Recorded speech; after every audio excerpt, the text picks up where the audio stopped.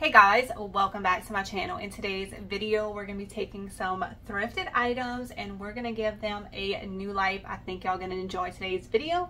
So let's go ahead and get started on the projects. I actually purchased these two pieces separately at the thrift store, but I think they will go really good together. This basket is adorable and it's already filled with foam.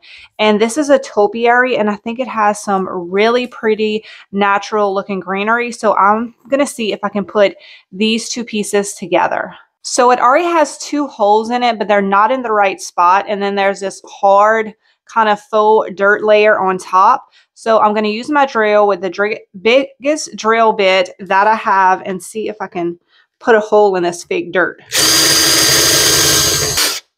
Okay, that was actually a lot easier than I thought.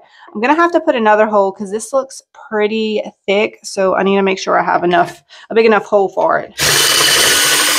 This fake dirt layer is no joke. So I ended up having to get a smaller drill bit and I put little tiny holes, a little tiny circle holes around my bigger hole. And now I'm kind of chiseling it out to be able to get um, the size hole that I need for this piece to fit in there. So a little more complicated than I thought, but I'm making it work. I feel like this is going to be a big enough hole for us.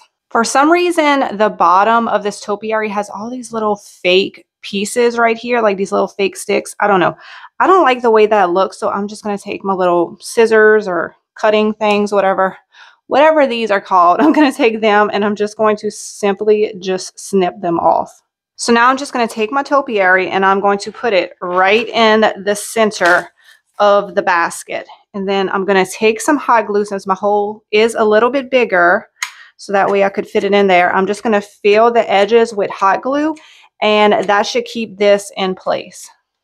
Okay, our topiary is looking pretty good. It's kind of hard to get the whole thing on camera, but we're going to add a few things that are just going to make it look much more expensive. This is some spray adhesive, and this is just some Spanish moss that I got again at the thrift store.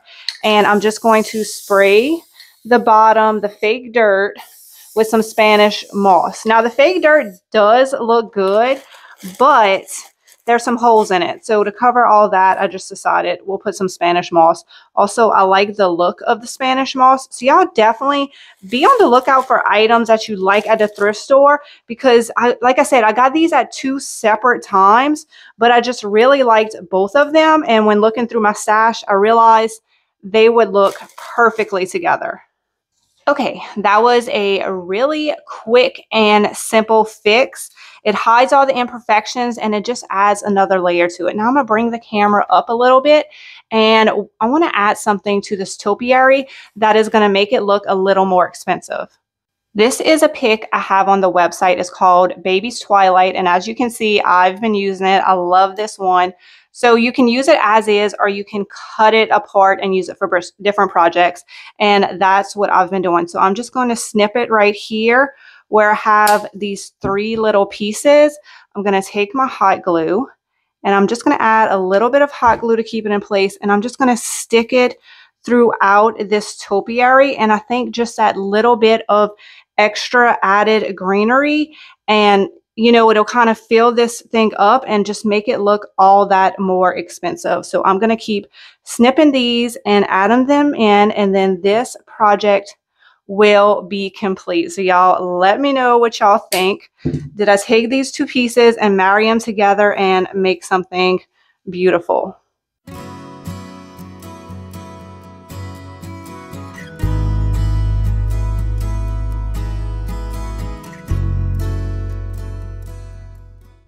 I recently thrifted all of these pieces at the same thrift store and y'all know I love a good hanging basket. So as I was shopping, I was just throwing stuff in this little metal hanging basket and I love the way that it looks, these paper flowers, this little wood rolling pin, but I don't feel like the hanging basket goes with this look. So that's we're gonna what we're gonna change today. I think that Fusion Paint in the color Champlain is going to be really pretty on here. I'm using my Pointed Sash paintbrush. I know is my favorite. It's super easy to use if you have a smooth surface like this. And then also if you have details, the pointed ends make it super easy to get those. So if you're unfamiliar with Fusion all-in-one paint, it's pretty much no prep, no sealer. It has a built-in sealer with it. So it's a one and done product and I absolutely love that. So once I get two coats on here, it will be ready for the next step. I am loving the way this Champlain color looks with this kind of rust color. Now we need to add something to the front. I want to use IOD's new seed catalog transfer. It's filled with all these different types of ephemera. We have lots of fruits and flowers and seed packets and just all kind of cute stuff. If you haven't checked out this transfer, I think you will love it. I think I'm going to use this image. I think it will look good. This is actually a smaller one of May's Roses, which is a bigger IOD transfer. And I really like these strawberries. I think I have something I can put on that. So we might do that project next. I'm going to pull the white backer off of the transfer and then I'm going to put it exactly where I want it on the metal bucket. Y'all, I am loving how this color looks with the rust. I would like to say that I planned it out that way. I did not, but it definitely looks really great together. I feel like this transfer was a perfect choice. So all of your transfers come with a transfer tool and look how easy it's coming off. You just rub it over and the Fusion all-in-one paint really works so nicely nicely with the IOD transfers because it has that built-in sealer. So the transfers just come off so easily when I use my Fusion paint. So if you've been having trouble with transfers, you might want to try some Fusion paint and you will be amazed how easily your transfers come off. And of course, all of the products that I use in today's video, you can find on my website, juliesdesignsandsigns.com. I love the way that this piece came out.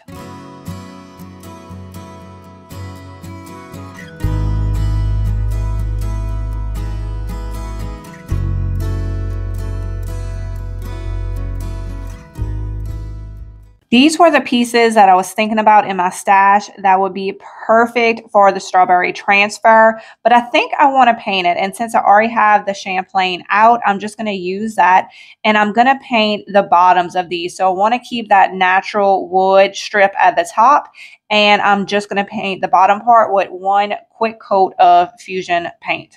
Sometimes I have my YouTube videos planned out, and some videos are just like this where I just take items out of my stash and just get inspired as I'm working on different projects. I didn't even plan this one, but when I saw the strawberry transfers, I knew I had a piece that I could put them on. So if you also have a large thrifted stash, just grab something and start working on it. Once you start working on it, I guarantee you the ideas will start coming.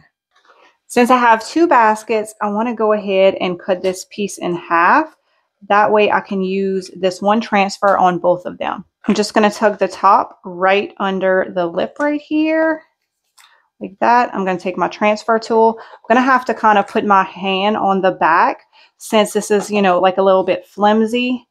It needs kind of a um, stiffer surface to be able to transfer. So I'm just going to use my hand.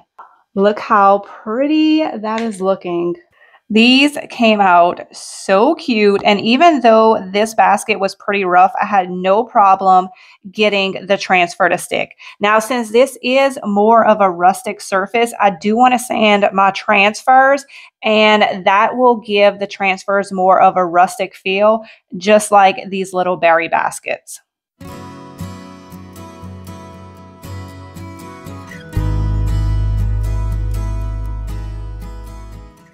I recently thrifted this piece and I know it might look a little weird now. It's a plate and half of a coffee cup, but I see so much potential in this piece. This is a very slick surface, so what I want to do is I want to add some Fusion paint, but also some Dixie Belle Sea Spray, and this will really help it adhere to the slick surface and also give it some texture. I have Fusion paint in the color Cobblestone. It's a light gray color, and I'm going to take some Dixie Belle Sea Spray, and I'm just going to add some of that in. Probably don't need a whole scoop. And then I'm going to mix it up really well. So now we have a nice textured mixture and I'm going to take that and I'm going to paint it on the entire piece. It's probably going to take two coats of paint. So I think the first coat I'm just going to get on here. And then for the second coat, you could really add more texture on there. I think I'm just going to brush it on, but if you wanted to even add more texture, you could stipple it like this, but this is a lot of texture and I feel like the brush strokes is doing a great job of giving me the look that I want. So I don't need that extra added detail of all the stippling. It's all dry and look at this beautiful texture. I was very intentional with my brush strokes. So I have it going around the plate and then I have it going up and down the cup. You could leave it like this, but I really want to add some more dimension to this and really have the texture stand out. So I'm going to be using Dixie Belle's Gray Grunge Wax. I'm a little bit obsessed with this right now. I just love the way everything comes out that I put this wax on. So I'm using the Dixie Belle. It is the French tip paintbrush. It is my favorite for waxes. It has a pointed tip just like the Staalmeester uh, pointed sashes. So it's great to get into all the little details and then when you have a smooth flat surface, it gets that really good as well. So I'm just going to put the gray grunge on my entire piece. And then I'm going to take a dry paper towel and I'm just going to wipe the excess off. Now I want to add another layer. I mix up some milk paint in the color London Fog, and I'm just going to put one coat on here. Now, ideally, you would let your wax dry, but I don't have time for that in this video, so I'm just going to lather it on here. Now I'm going to take a heat gun and I'm just going to dry this milk paint really quick. Now we have even more texture with that milk paint. I'm going to take a baby white and I'm just going to lightly go over the entire piece and bring back those two shades of gray. So the first gray that we put on there, the Fusion Cobblestone, and then we added even more gray with the Dixie Belle Gray Grunge. So you can see as I'm just kind of lightly going over it with the baby wipe, it's bringing back some of that texture, some of those grays, and just adding lots of dimension. I still have a little bit of the grunge gray wax on my brush. So now I'm just going to hit the edges and just kind of dry brush the edges and make them a little bit darker. So there's no right or wrong way to do this. You just layer and you keep adding or you can take away if you feel like you did too much, but you just keep playing with it until you get the look that you want. But I love all the beautiful texture that we created in this piece. It definitely looks a lot different than what I started with.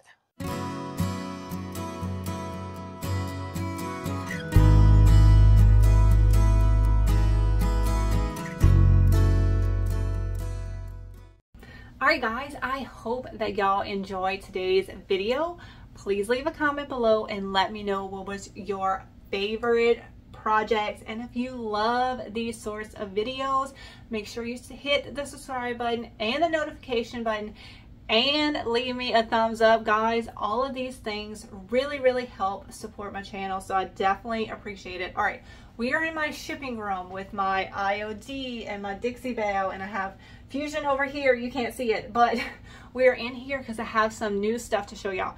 I'm just to show y'all a few things that I got in. I got in a huge order, three pallets of stuff, but I did show it over on Facebook in detail. So if you want to watch that full video, I will leave that link in the description for y'all, but I got some more wholesale and it is floral because I love decorating and staging with floral. So I got some really beautiful pieces that I think would really tie into the thrifted finds and the projects that we are already doing over here.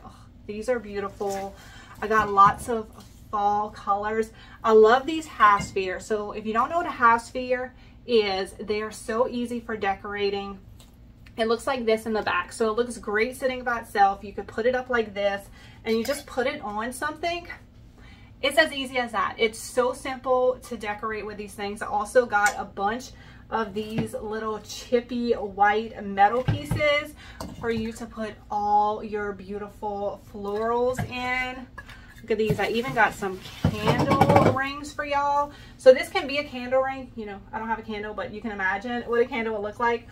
Or you can, um, see, look how beautiful that looks. Or you can use it as a wreath. It works either way. And I just tried to get things that had just a vintage vibe to it. Y'all, these are called late bloomers and they are my favorite. Oh my gosh. So I got it in a half sphere. This is the cream. This is the yellow. But wait, I already took a bunch of these out of inventory because I have them all over my house because I'm obsessed, y'all. Oh my goodness. I love these. So it has a long stem so you could put it in like a little hanging basket or a pot or something, but it doesn't stand up straight. It just kind of, oh my gosh, it just falls over. It is beautiful. I know it's not springtime, but I couldn't help but get this droopy lavender. Look how cute this is. I said I wasn't going to show y'all everything, but here I am showing everything. Not exactly everything, so y'all definitely go look online. Look how, oh my gosh, I'm obsessed obsessed with these. Like I said, I tried to get things that really had a vintage vibe. have some bird's nest. These are so good. I feel like I looked at a lot of bird's nests and these looked very natural. I have lots of, um, what this is called? New England boxwood um, because I feel like this is just such a timeless classic look and goes with any decor style. And if you wanted to add some berries in there for Christmas, you could. So I have the small candle ring, the little bit bigger candle ring, and then also the half sphere. Okay, I'm just going to show y'all a few Christmas greenery pieces that I have and that will be it. But like I said, if you really want to get very detailed and look at these, I have the Facebook video and of course, everything you can find on the website, juliesdesignsandsigns.com. Now this one, it wasn't specifically Christmas, but I feel like, oh, I already showed y'all this one, but this is so like beautiful, natural Christmas looking. I love cedar. Look at this piece with just the greenery and the pine cones. Oh, it is adorable. We got to put it on the candlestick, see what it looks like. So this is another half sphere. They're so easy. And then this is actually a centerpiece. So you have the hole in the middle where you could put something, a candlestick, a deer. Oh, that would be cute. Um, but then you have these longer sides and they just kind of drape. So they look they look amazing on a riser, but of course you could put it, you know, on a shelf or a table or something. So this is the cedar centerpiece. I want to say it's called creeping cedar. And then I also have the creeping cedar wreath. And again, this could be a wreath or it could be a candle ring. And they have like little tiny little pine cones on it. Super cute. And then I love juniper. So we have the cedar with the juniper and this one all of these kind of twigs um, are bendable so you could bring it out more you could bring it in. Um, you could really play around with this one. I really like kind of how spriggy this one is. Very very cute. So super excited wait I didn't even show y'all my favorite one. Hold on. This one's called Baby's Twilight. It's back there so I'm looking at the name of it it's so vintage looking. And I got this one in the half sphere, but also in little sprig. So I've been using this one so it, it seems kind of um, sparse because I've been tearing it off and using it. It looks amazing. So if you're doing a stack of books or you just need a little greenery to add to something, these are beautiful. I love these. So these are called Baby's Twilights and I have them in the high sphere, in the pick, and I also got it in a garland. Look how pretty. I just thought this one was so vintage looking and it's the kind of stuff that I love to use when I'm staging. So I had to get it in all three different kinds. So y'all definitely let me know what y'all like about the greenery, what y'all would like to see more of. Are y'all excited about it? I want to know all y'all opinions. So that went way longer than I thought. I was like, oh, I'm just going to tell them and send them over to Facebook. And then I ended up showing y'all pretty much everything that I had and why I loved it. So I hope y'all enjoyed today's video and I will see y'all next week for another DIY. Bye guys.